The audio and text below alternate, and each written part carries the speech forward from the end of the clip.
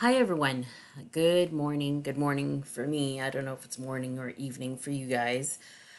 Um, all right, here we go. We only have a couple of more weeks left. Um, there's this week and next week, and then final start next week towards the end of the week. So we're covering chapter 15 and chapter 16. All right. So, uh, chapter 15, uh, what is it about? It's about ecosystems and communities. So, what is an ecosystem? We'll define that. What's a community? Uh, weather, how does weather help define uh, what lives where? Um, I'm not feeling too hot, so I'll do my best uh, to do a good job here. And I apologize um, if I'm a little. um, anyway, uh, let's go ahead and get started. Um, just like before, we have homework, so get the homework done. Um, we'll have a lab this week. Um, the lab is going to be on ecosystems and either that or predator and prey or uh, food chains, food webs. All right, so let's talk about this. So, what are ecosystems? How is weather created? Energy and how does it move through the ecosystem? Species interactions, and then communities. All right, so here are these flamingos. So, an ecosystem, eco remember house and system. So if you think of like the Sahara Desert, that's an ecosystem. If you think of the ocean, that's an ecosystem. If you think of a tropical rainforest, um, it has living and non-living components. So what are the things that are living in the area and how does the non-living affect it? For example, in the Sahara, dry, hot, that those non living components are going to affect what can live there. I remember, you know, being a young person and really not having an appreciation for the desert, just thinking, ugh, it's ugly, it's hot, who cares? But in reality, there are plants and animals that live there and that is their home. And it's really amazing because it's like how do they how do they live there? How do they live in such an environment? How do they survive? All right. An ecosystem could actually be in the back of this um, beetle, right? It, it, the, the organisms that live on the back of this beetle. Or it could be here in the coral reefs. So within ecosystem, there are two parts. There are going to be the biotic factors and the abiotic. Biotic, we're talking about the living things. So the fish, the corals, the crabs, the sea anemones, whatever, though that's biotic. The abiotic, A means not, those are the water. Is it fresh water? Is it salt water? Uh, what's the salinity like? What's the pH like? Is it hot? Is it cold? Those are the abiotic. And like the example that I used with the desert, the abiotic affect the biotic. So so it's an aquatic environment yet there's salt, so it's salt water, which is going to be different. The types of animals that live in salt water is going to be different than the types of animals that live in fresh water. So within ecosystem, we always have the biotic and the abiotic. Okay, biotic, living things, abiotic, non-living things. So ecosystem, community, biological organisms, plus the non-living components. Okay. They're found not just ponds, desert, tropical rainforest, but like digestive tract. Oh my gosh, you have a total ecosystem in your digestive tract. And we talk about your bacteria and stuff can happen that can cause problems with your digestive tract. Like some when you take antibiotics, it can actually mess up the bacteria in your digestive tract and it can cause diarrhea. I don't know if you've ever I'm sorry talking about this. But yes, and then that affects the good and the bad bacteria. All right, so what are biomes? They are large ecosystems. So when I said the ocean, that's a biome. The desert, that's a biome. They occur around the world. They what are the two things that determine a biome? Temperature and rainfall. So, you know, star star, star star, okay? Temperature and rainfall affects what plants can live there, which then affects what animals can live there. So, what's the average temperature like? Is it hot all year round? Oh my gosh, Hawaii. Hawaii's in the 80s all year round. versus the Arctic, okay, versus the Sahara Desert. What's the rainfall like? Hawaii, it rains almost every day in Hawaii, so it's lush and tropical. Versus, again, the, the other extreme would be the desert where it hardly rains. Temperature is a constant or is it seasonal? Like, think of where we live. Our temperature, we have hot summers, we have cold, cold winters, right?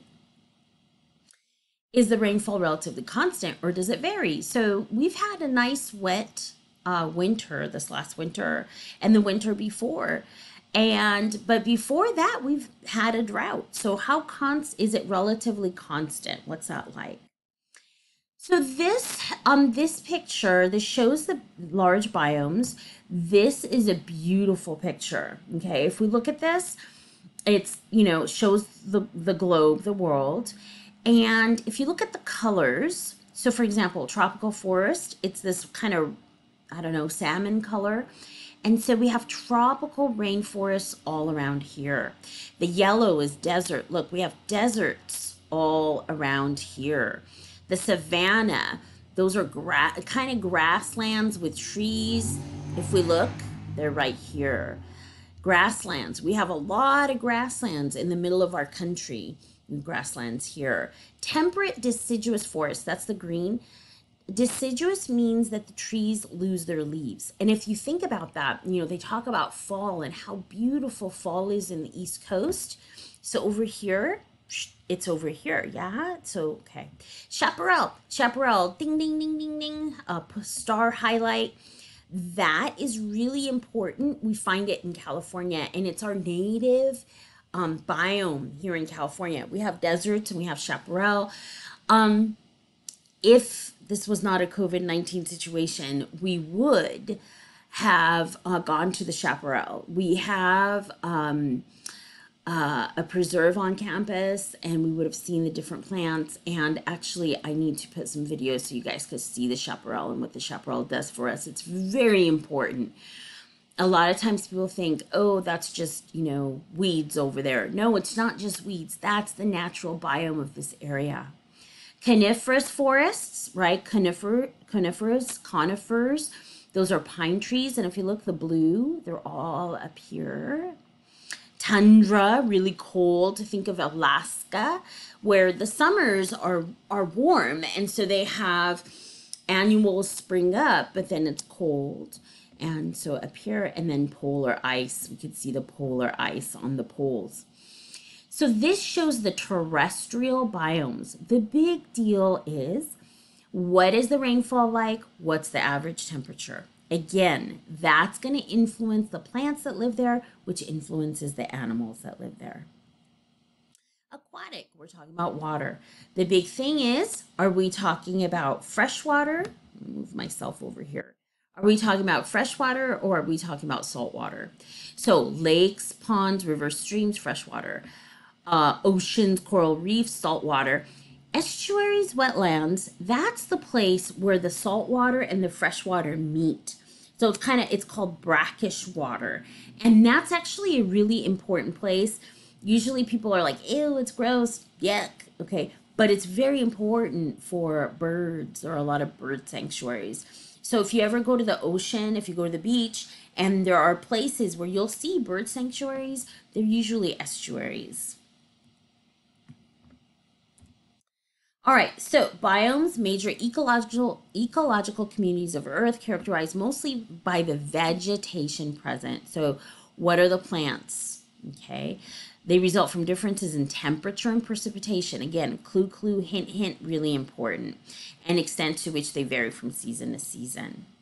So, weather. Okay, we're gonna go through this rather quickly. Okay, um, the weather affects temperature and rainfall. So what is it about the earth? Why is it that we have, you know, deserts here, that we have tropical rainforests here, that we have polar ice here? It's all about the weather. And what is it about the earth? What is it about the wind currents? What is it about the ocean currents that actually affect this? So global air circulation create deserts and rainforests. Okay, so this is an important picture. Here is the Earth. Here's the equator. right at the equator, that's where there's the most direct sunlight, okay? And here's the sun, right? And you know the earth. And it says the sun shines most directly on the equator. Bam, okay? Where the solar energy is spread out over a small area and the same amount of energy hitting near the poles. Bam, bam, okay? This leads to war- warmer temperatures at the equator. So it's warm and wet at the equator. And because of that, that's where we see this is going to be a, a, test question, guaranteed. That's where we see the tropical rainforests. Okay, lots of rain, lots of warm moisture, perfect for plants to grow. Tons of different types of plants, tons of different types of animals. And that's important information because it's so important for us to maintain our tropical rainforests, to keep our tropical rainforests. Here it talks about how rain is formed, right? So air is heated as it rises, okay? When it rises, it cools. The cooling, there's condensation, and then there's precipitation. And so there are cycles, okay? And we see that on our earth. So here there's a lot of rain. Okay, here's the equator. There's a lot of rain. Here, there isn't that much moisture. It's hot and dry. Okay, the moisture stays locked in the um, the air. Not a lot of moisture that goes down to the ground. Because of that, it's hot and dry. 30 degrees north and 30 degrees south of the equator. And what we see is we see our major deserts 30 degrees north and 30 degrees south. Guaranteed quiz or test question. Okay, so warm air rises. Oh where's my pointer? Warm air rises away from the Earth's surface, becomes cooler. Cooler air falls towards the Earth's surface, becomes warmer, and then we have this circulation. In the meantime, as air moves down towards the Earth's surface, becomes warmer, it can hold more moisture, and there is very little rainfall. So, tons of rainfall here, tropical rainforests. Not much rainfall here, we have deserts. And so we see this around the world. So, the weather largely determined by the Earth's round shape. Solar energy hits the equator at more direct angle than the poles, leaving warmer temperature lower latitudes. This creates circulation patterns, heavy rain at the equator, deserts 30 degrees a latitude. Local topography. What's it like where you live? Do you have cities? Uh, do you have farms? Do you have the ocean? We have the ocean right next to us, right? The huge Pacific Ocean. That influences our weather. Okay, so local topography influences weather. Here, there's something called rain shadow. Okay, he, this is a satellite. This is kind of really cool. Look at this large body of water. We're talking about an ocean. There's a mountain range here. And if you look, it's nice and green here. And then there's deserts on this side. We here living in California, we actually experience a rain shadow. We have our mountains right there, right? We have our ocean, okay? And the air, when the air comes, there's moisture in the air. As it rises, it cools, and then there's rain, and that helps make that chaparral. But then when the air moves across, now it's dry, okay? And um, we have deserts. So, for example, think of Chaffey College. Um, you know, there's chaparral, it's there's rain, yes. If we drive on the 15 and go north, once we pass our big mountains, we have desert. Okay? That's called rain shadow. It says wind blows from the ocean towards the land, rising when it hits the mountains. Rising air cools, holds less moisture, cloud formation, and rain. Rain. Okay? Then the air comes this way. Air passes over the mountaintop fall, becoming warmer, increasing the moisture it can hold so the water is in the air, it's not coming down. This reduces the rainfall, resulting in dry areas.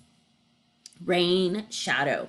This is a picture of the Andes. But here, if we looked at the Sierra Nevadas, if we look at California, we have rain shadow also.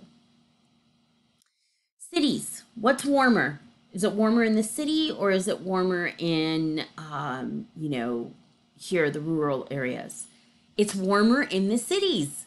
All the asphalt, the asphalt, cement, building tops absorb heat, raising the temperature. Windy, uh, if you have big, like Chicago is known as the Windy City. If you have big uh, buildings, etc., that influences the wind. Tall buildings force wind downwards. So local features of topography influence weather with higher altitude temperature drops, windward side rainfall is high, backside reduced rainfall causing rain shadow. Urban development effects. Ocean effects. The ocean currents, okay? Cold water, warm water is going to affect who can live where. Here on our side, right? Pacific Ocean, is it cold water or warm water? It's cold, yeah? and so that affects the organisms that can live there so um, we have big kelp forests the type of plants and animals that live on our in our ocean versus here if you go to the caribbean that's warm water. And that influence you have the coral reefs you have tropical fish etc beach communities are cooler than inland communities. We've talked about this before right? Because the cool air from the ocean cools that area. Oh, yeah, they talk about El Nino, okay? That has to do with ocean currents and warmer water, which gets more rainfall, and that's El Nino. And that happens, it's cyclical. All right, now to energy and going through the system, ecosystem. You've probably all had this before. I'm going to see what the lab is going to be this week. I think we're going to do energy pyramids and look at this. How does energy flow through the system? We've already talked about this before when we talked about photosynthesis. Remember, ultimately, all the energy is coming from the sun, right? Comes down then you have photosynthesis happening in plants, and then the energy is going to move up through the chain, the food chain. So we see this beautiful uh, chameleon, and he's eating something, right? So energy, our food has energy in it. And, and when we see who eats who, we're actually moving through the food web, the food chain. So here's a picture.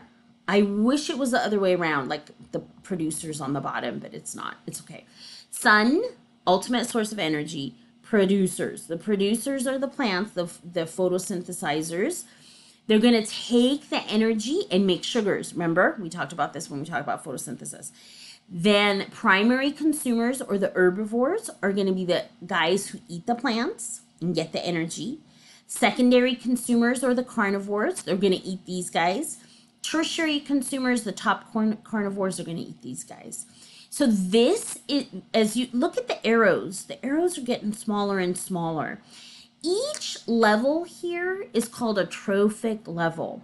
And if if we were able to go to the Chaffey Preserve, you would see so many producers. Yeah. When you go out into nature, you see a lot of plants. Okay. So they are the biggest trophic level at the bottom. And then every time we move up the ladder, there are less of these guys, less of these guys, less of these guys. So imagine when you go out, you see tons of plants. You don't see tons of hawks. Why?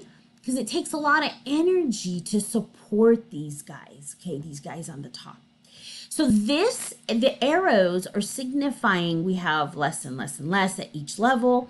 And also the arrows are showing a food chain who is eating who. So this could be a food chain. But in reality, in an ecosystem, you have many food chains. So all of these food chains together is called a food web, okay? And we're looking at who eats who and the energy and as it flows. All right. So energy flows from producers to consumers, from producers to consumers. So, energy from the sun is intercepted, converted into chemical energy as it passes through the ecosystem.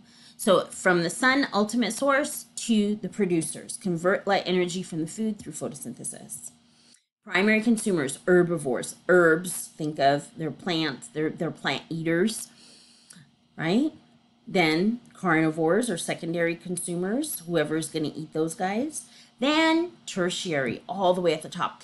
If this was a pyramid, and again, I wish it was flipped, this would it would be like an upside down pyramid. This being the largest level, and then here smaller, smaller, smaller. So it would actually go like, you know, like an upside down pyramid with the most amount of individuals at the bottom, and they're supporting all of the other levels with these guys be on the top. So for example, at Chaffey College, um, again, if we went to the preserve, you would see tons of chaparral. You'd see some hummingbirds. You would see some, we actually have quail. That's kind of really cool. You'd see some uh, lizards. You would see tons of insects, right? Maybe, maybe once in a while, you'll see some hawks way at the top of the food chain. So, food chain, photosynthesis, producers through the animals, food web, all of the food chains involved. Oh, how about these guys? Oh, no, Miss Collins. Okay. So, what happens when these guys die? Okay.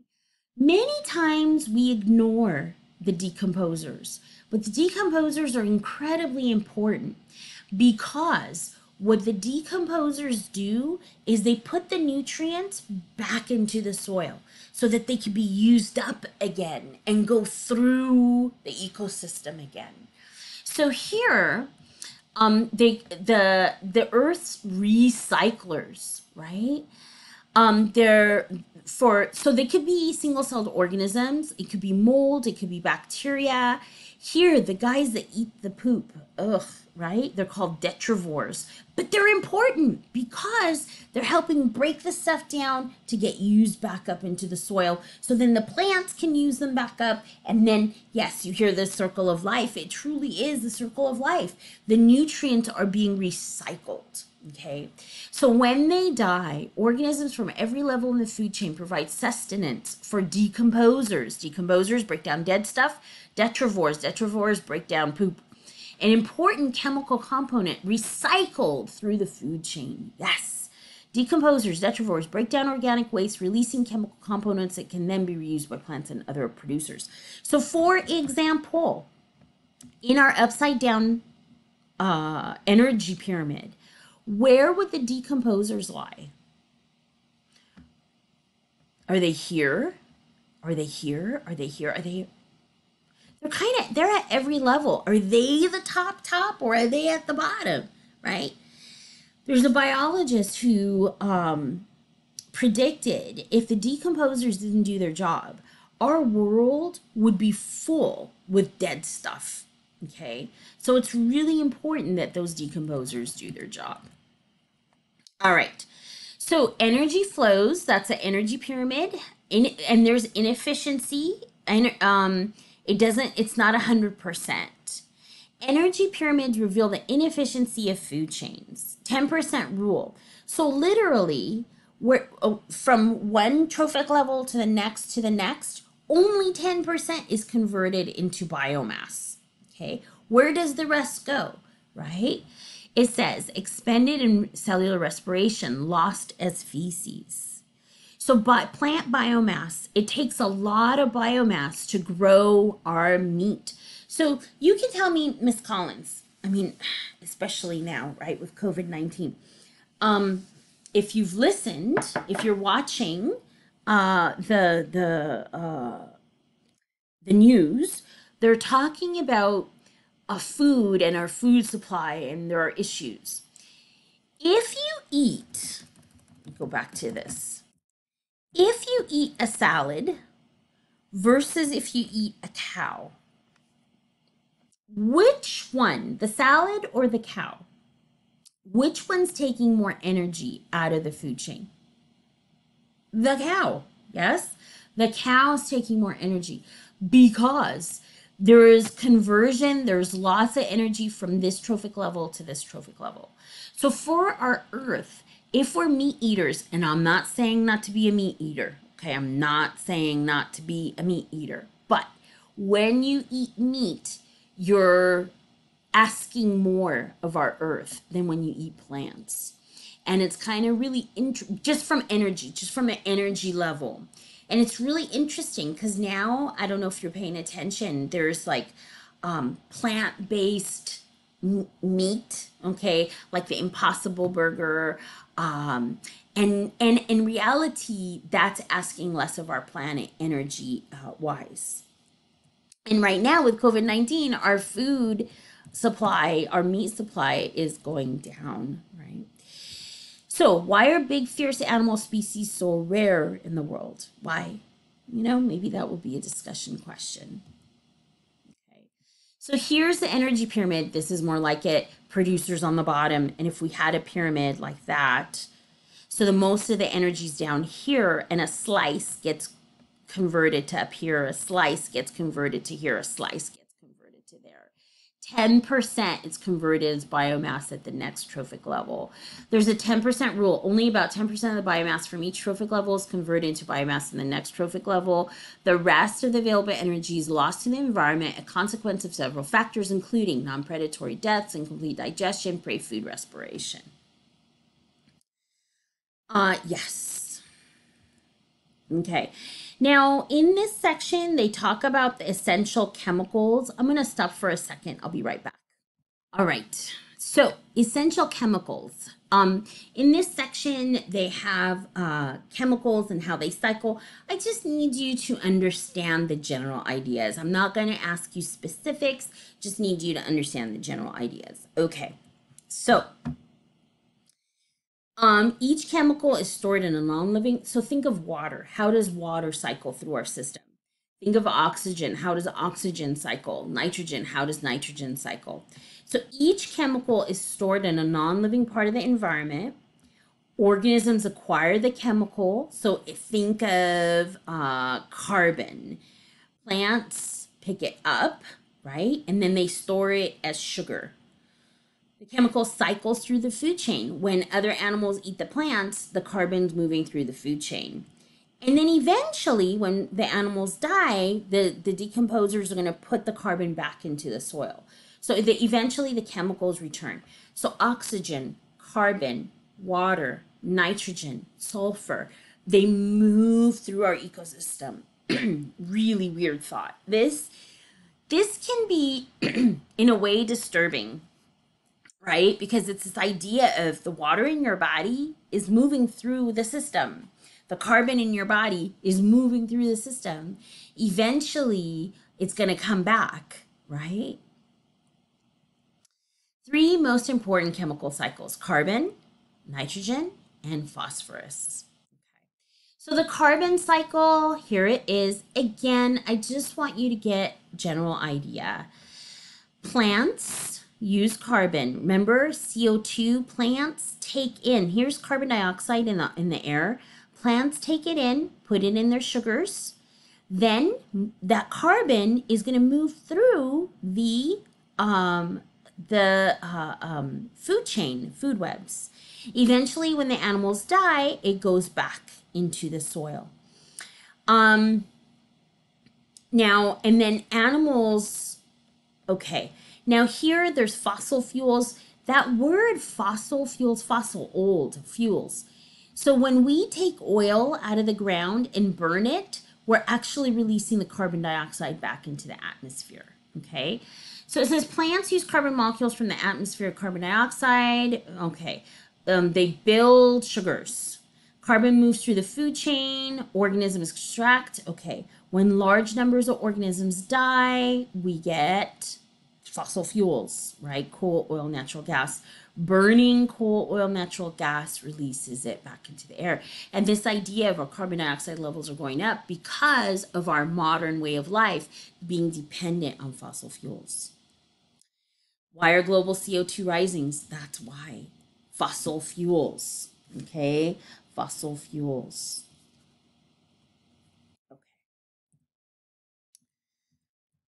Uh, nitrogen, nitrogen cycle. So the nitrogen is in the air, okay? There are bacteria in the ground that fix the nitrogen so that plants can take up the nitrogen.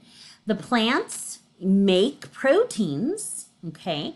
Then, same thing, goes through the food chain, Okay. When animals die, there are bacteria that break down the nitrogen, goes back into the air, and it cycles through. Nitrogen is a bottleneck. Okay. Nitrogen is really important for plants. And fertilizers have nitrogen. Phosphorus, somewhat similar thing. Plants absorb phosphorus. The phosphate moves through the food chain um, and it's used for ATP, DNA. Um, when animals die, goes back to the soil. Again, we have bacteria in here that release it and then it can be used. So it goes back and forth. There's a word called eutrophication. That is when there's too much phosphorus, too much nitrogen. So you're like, what? What's the problem with too much? Well, imagine a farm and the farmer is using nitrogen, using fertilizer. Fertilizer has nitrogen and phosphorus, okay? When they put too much on their crops or when they put it on their crops and then they water and then uh, those nutrients go into the water, like the lakes, nearby lakes and streams, that can make a bunch of bacteria grow and bacterial blooms. And when they do that, they take the oxygen out of the water, and that causes a lot of fish death. Okay, that's called eutrophication. The increase in nutrients in the ecosystem, particularly nitrogen and phosphorus, often leads to rapid growth of algae bacteria. These consume much of the oxygen, leading to die-offs. This is either it's either a boat or it's a jet ski moving through the water, and you can see all of this algae just blooming. Due to extensive runoff of fertilizer from agriculture, eutrophication now affects more than half of the lakes in Asia, Europe, North America. Not a good thing. All right, so chemicals, right, moving through. So lastly, for this chapter, um, the species interactions, okay? How do species interact with one another, okay? Um, think of, okay, let's look at what we're looking at here. What is that? That's a clownfish. What is this? A sea anemone. Okay. So, um, that's one species. That's another species. Now, the way I'd like you to look at it is one organism has is going to get a benefit or it's going to be harmed or it's going to have no harm. So it's going to be a positive interaction or a negative interaction or there's no harm, okay? The other species, the sea anemone, it's either positive, negative, or no, no, not positive or negative. It's neutral. So what do you think? Does this guy get something out of the relationship? Does this guy get something out of the relationship? Yes. It's a positive, positive interaction. They both get something out of the relationship. The clownfish gets protection. Then the clownfish goes out, gets food, brings it back it's a sloppy eater that that food now the sea anemone gets something out of the interaction so it's a positive positive interaction so sometimes in nature we get positive positive interactions we get positive negative think of predator prey predator is getting something out of it the prey is getting eaten so that's negative. negative and sometimes it's negative negative think of competition that's negative negative right it can hurt both until one wins okay uh, parasites, etc. So each species role in the community is defined by its niche. Its niche is like where does it live, what does it do, how does it do it, right? Niche. The space an organism requires, type of food, timing, etc. Okay.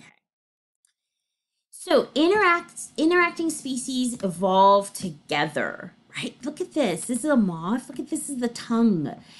Um, and we will say that evolutionary forces act on these species interactions. Oops. Okay. So natural selection will act on it. Competition. Okay. So think of competition. It's negative, negative. Okay. At the time. Um, when organisms are competing with one another, it takes resources away from both. Um, I wish, yeah, this the, the book does not have very good examples, okay? they show bacteria, and I think the point is they're trying to show that bacteria can compete with one another, which they can.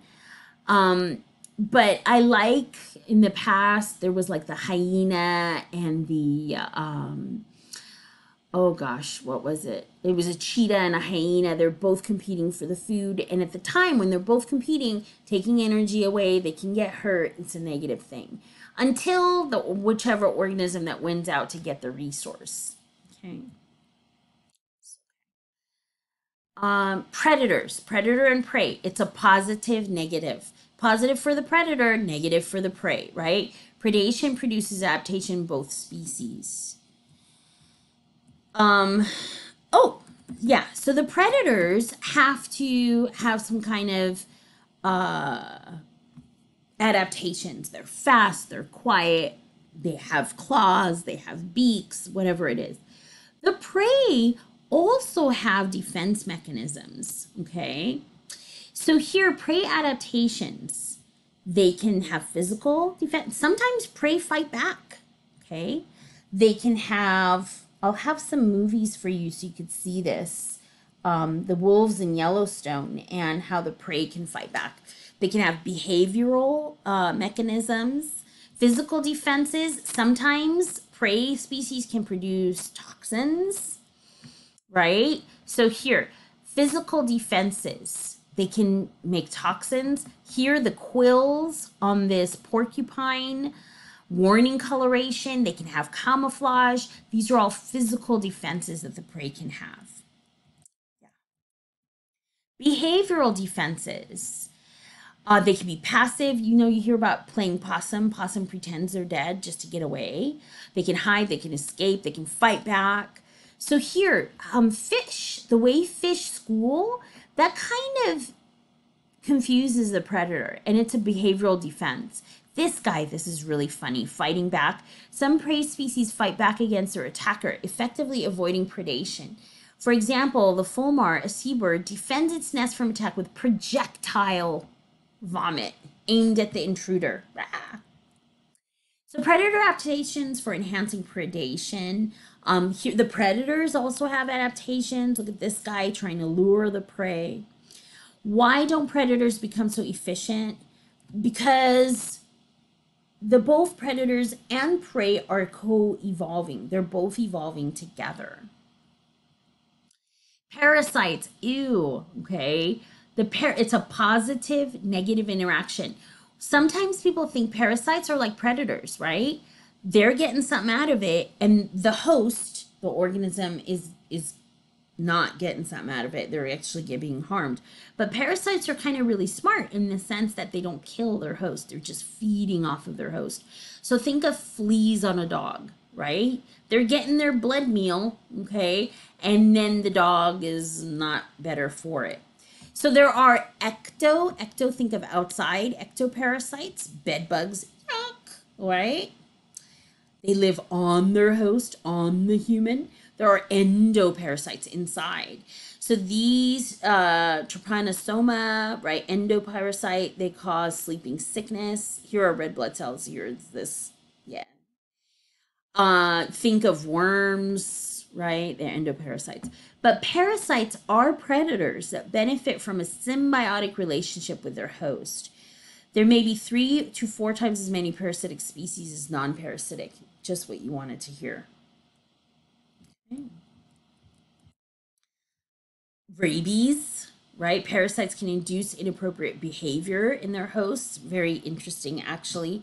The rabies parasite is more effectively passed from one animal to another. It causes foaming at the mouth and then biting, aggressive behavior for the parasite to move from one to another. So, for example, with COVID 19, you can think of it as a parasite, right? Um, it's, it's a virus, right? It causes us to sneeze, cough, etc. And when we do that, we're passing it along. All right, not all species interactions are negative. There's mutualism, there's commensalism, where it's positive, positive, or it's positive and neutral. So the idea of the clownfish and the sea anemone, that was mutualism. This idea of a bee and a flower, the bee's getting something out of the relationship. The flower's getting something out of the relationship. It's a plus plus. It's a win-win. In mute and it's called mutualism. It's mutualistic. In mutualism both species benefit from the interaction. For example the flower is pollinated. Look at the pollen right? The flower's getting the pollen. That is, and then the bee is getting the nectar, okay, the sugar water from the flower. So it's a positive, positive interaction. So we see this in nature. Commensalism, someone's getting something out of the relationship, someone's not being harmed or benefiting, okay? In commensalism, one species benefits, this bird, the egret, the other species neither benefits nor is harmed. It's a positive, zero, neutral.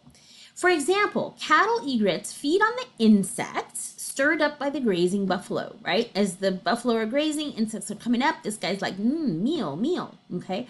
The buffalo's neither helped nor harmed in the interaction. So, not all species interactions are combative. Sometimes it could be beneficial.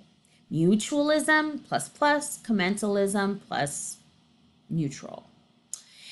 So, lastly, uh, the idea of communities and communities changing over time, they do, and this is really important, right? Last chapter, when we talked about exponential growth curve and then stabilizing, um, I will, I'm going to show, I'm going to have some extra videos for this chapter because it's really cool to look at some of the concepts we're talking about in this chapter. So again, the wolves in Yellowstone, they're a keystone species and how they affect the other organisms, okay?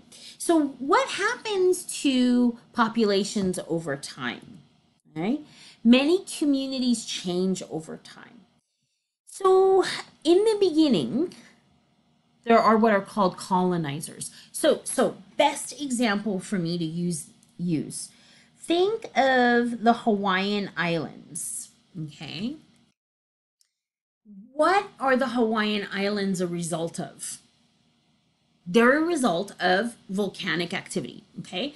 So the hot molten magma and, and it cools off and it creates earth. Okay. So at first, there's nothing living there. But eventually, life settles, whether it's bacteria, whether it's fungi, then maybe mosses, etc. So in the beginning, think of that fresh plants, uh, sorry, fresh dirt from the volcano. In the beginning, fungi, bacteria, lichens, seeds are often among the earliest colonizers. They're going to live, they're going to die. When they die, they're going to bring nutrients to the soil. Then plants start to grow, mosses, trap moisture, allowed seeds to germinate. Then other plants, then other plants. So the community is changing over time. Eventually, we get what's called a climax community. Longer living, larger species outcompete the initial colonizers. So when we talk about the biomes on our earth, when we talk about tropical rainforests, when we talk about the Sahara, when we talk about coral reefs, those communities have gone through succession and we have climax communities up here. So the video I'm going to show you with the wolves in Yellowstone in Yellowstone, there are climax communities. So all the organisms and the interactions between the organisms have kind of leveled off, and we're at a certain level where it's a climax community. And if things happen to the climax community, it can really um, damage the interactions. And the wolves in Yellowstone are a great example of climax communities being altered by hurting one species, right? It says disturbance is a fundamental part of most ecosystems and can repeatedly set a community back to an earlier stage of succession. So communities can be going through succession. Succession, the change in species composition in a community over time. So the colonizers, secondary succession, yeah. Some species are more important than others, okay? They're called keystone species. So the wolves in Yellowstone, um, sorry, I'm writing myself a little note here so I remember to put that video on.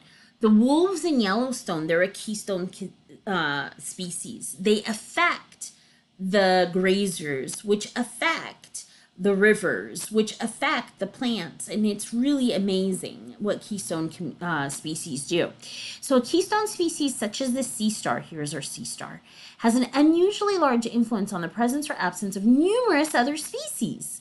So, here is a community with the sea stars. Look at the, all the different variety, okay?